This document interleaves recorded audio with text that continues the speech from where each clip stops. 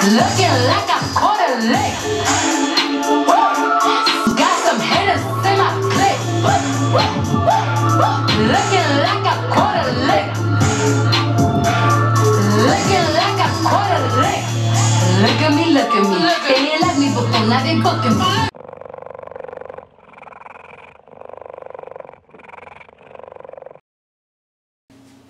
Alright y'all, I am back with another video and I decided to do a wig video. Don't mind this line right here. I am using it so I know where my part is. Um, this wig is just something I last minute wanted to do. It was a nice curly wig I saw on YouTube and I'm just tired of wetting my curly hair like and washing it in the winter and like me freaking out thinking that I might get pneumonia. You know what I mean? Us curly girls, y'all know. So Alex had to come up with another solution. So I got this curly wig. Yeah. And um it is called Destiny. It's color number two. Or the color is 1B. They lied. I said two and they gave me 1B. No wonder it's so freaking dark.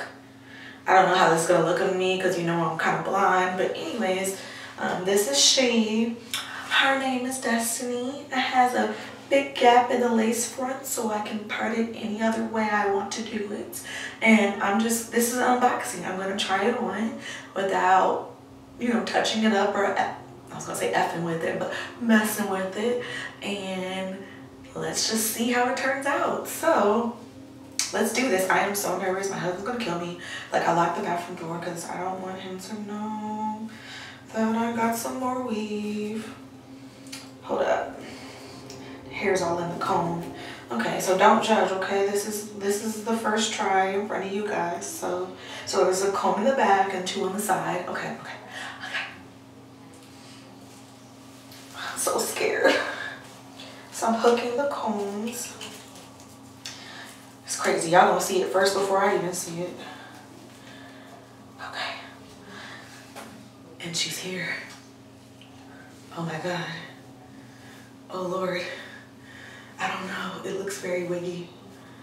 I know I'm gonna have to mess with this. Give me a second. Oh my God. Where the frick is the part? I can't even find the part anymore. Okay. I can't find the part. Okay, let me find the part and I'll be back. Okay, y'all. I finally got my life together. I would say this is the most snuggest, like, perfect fit wig that I've had so far, but I only had two. Actually three, because one I, like, completely screwed and cut it too short, and yeah, it's in the garbage, in the trash, but yeah, so this is where I'm at. I think once I, you know, cut the lace, get the part in and put the makeup like the concealer in the middle and then like loosen up these curls and give it like a certain look I think this will be super cute. It's just like very big. I like it but it's definitely kind of wiggy right now because the curls are like too perfect. So let me just judge around and get back to y'all but I'm kind of feeling it. It's kind of diva-ish so let me just play around with this um, and take it from there, okay? Love y'all. Hey guys, I'm back with the wig review in style video. This is a synthetic sensual Vella lace front wig in the style Destiny. And I'm loving these bouncy curls, y'all.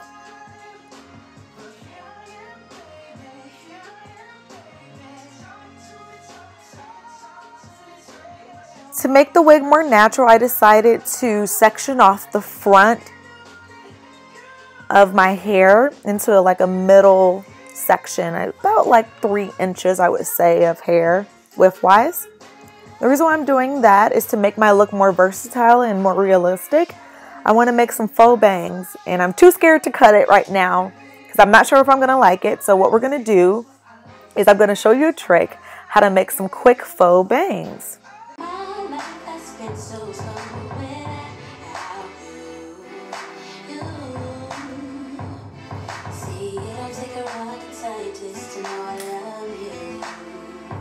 But first, we gotta make sure that you have a, it nice and snug. We're gonna use this Gorilla gel and it's not glue, it's gel, but this is really gonna fasten that wig on tight so nobody can snatch it off, honey.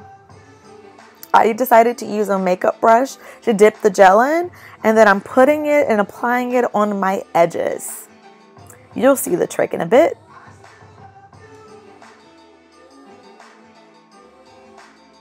Make sure to lather it on so you have enough to make the wig stick to your hair and your scalp. Right now I'm pressing down, pressing down on them edges, and then we're going to use a blow dryer to really fasten that on so it's not going to fly and go anywhere. I'm using it on the cool setting, so it won't be too hot, but I do that for both sides.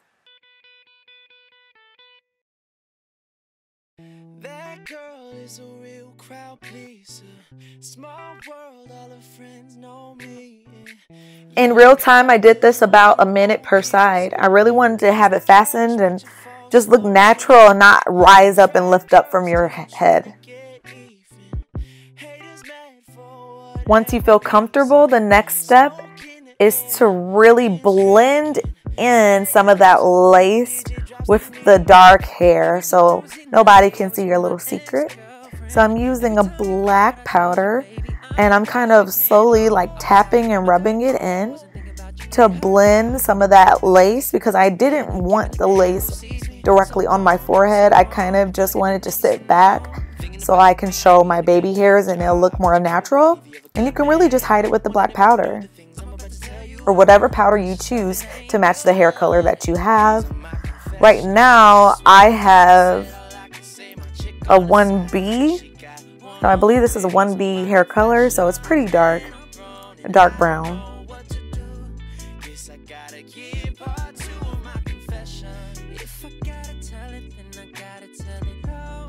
Look at them edges, laid. We laid that. So now you can take down your front bang section. And what we're going to do is twist it around itself. Leave the last three to four inches loose.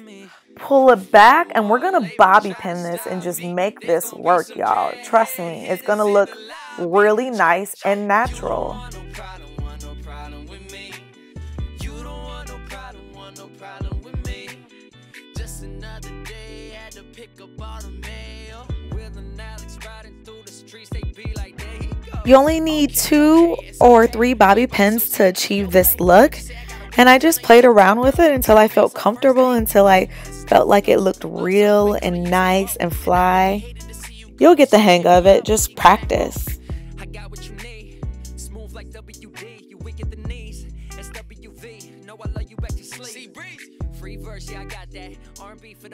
Yes, girl, you know you look good when you start posing all in the mirror and the camera, checking yourself out doing your thing. Just relax and enjoy the process. It's all fun and play, fun and games. Fun and games until you don't look good. but right now, this is all fun because this is turning out really well for us. Really well, especially for the first try. So, yeah, I'm feeling myself. Mm-hmm. And then I took a nice pick comb and I'm just teasing it out so it's not flat at the scalp and really has that body, girls. Yeah, we want that body. Then take the scissors and I started trimming at the length. Nobody's hair is exactly one length, especially when it comes to curls. So in order to give that fullness, I'm trimming at the top. So then it's like full at the top and kind of thinning out a little bit at the bottom and having more of that length at the bottom. Almost like I would say a, a hmm, yeah, a V shape. Yeah, a V shape. A normal V shape. It kind of so it's out at the top and goes in at the ends. So trim away to what you feel comfortable. And with curls, it does not have to be perfect. So there's room for mistakes and it's just gonna look like you meant to do it that way. Great for a starter wig. I will always say go with some curly natural hair for a starter wig. You can't lose.